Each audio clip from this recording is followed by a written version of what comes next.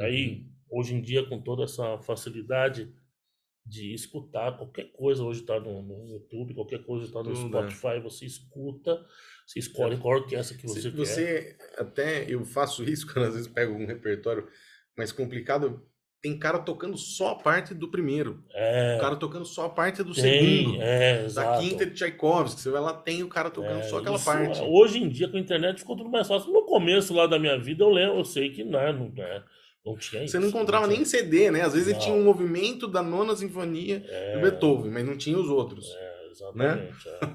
E um CD pra você comprar desse custava 200 reais na FENAC. Isso. Mas eu, é, eu sou da época do LP ainda.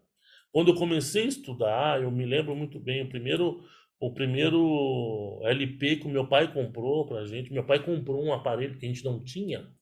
Meu pai gastou o dinheiro que ele não tinha para comprar, Pra um, comprar aquilo. um, um, um aparelho que tocasse um LP.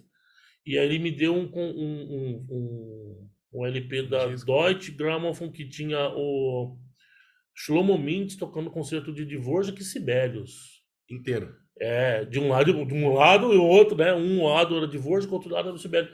Cara, era um. Nossa, aquilo furou, né? Aquilo Gastava. ficava. Nossa, era um negócio.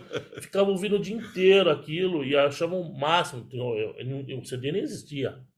É, O CD veio depois. E aí É. também era uma fortuna. Você tal. vem em 90, 90 e pouco. né? É, é, imagina, em 88, 87, É. 88, não tinha nada disso. Não, é. É.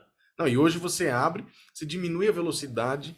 Você, não, pera, eu quero ver direitinho isso aqui, como que é. Isso, Você é. diminui a velocidade, você põe ali, volta e repete, põe só pra repetir aquele trecho. Põe o vídeo, você pega o dedilhado que o cara O dedilhado que o cara tá dedilhado, fazendo, de- arcada. Tudo, tudo, tudo, tudo. Naquela época você tinha que pôr e passar e não- você Exato. voltava, você não sabia onde ia voltar. Exato. E como é que vai voltar no LP, né?